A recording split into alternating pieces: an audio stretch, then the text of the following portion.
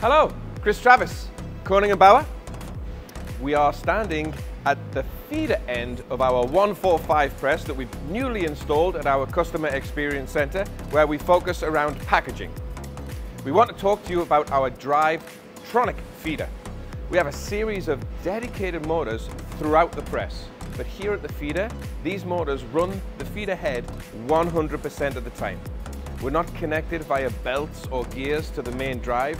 These dedicated motors will run the feeder 100% of the time. That's one of the reasons why we're able to get up to speeds of 22,000 sheets an hour on our medium format press because of these dedicated motors.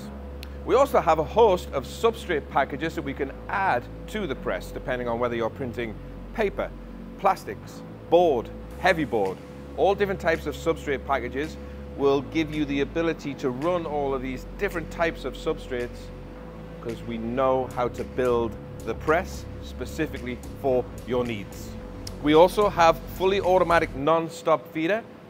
The rakes will come in from the front of the sheet to support the pile and tied in together with logistics if you wish to change the pile over, all fully automatic without any human intervention. Because at Koenig & Bauer, we're on it.